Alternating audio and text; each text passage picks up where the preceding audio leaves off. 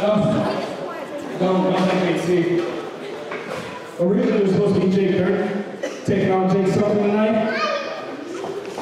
And originally, I was only supposed to come here to kind of rehab my leg because four months ago I broke it, and I've been out of the ring since.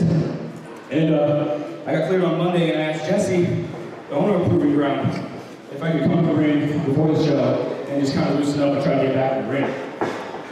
And he said, yes, of course. However, when I got here, he said, hey man, Jake Gurney's injured, and Jake something doesn't have an opponent.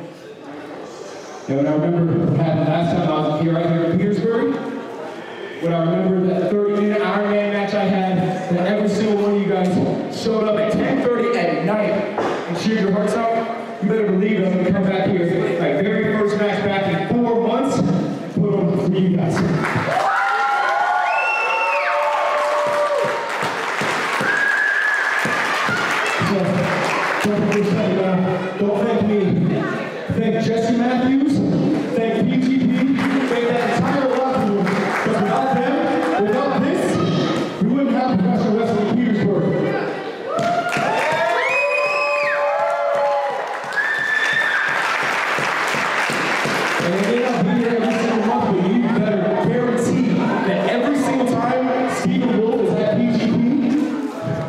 that entire locker room is going to follow the leader.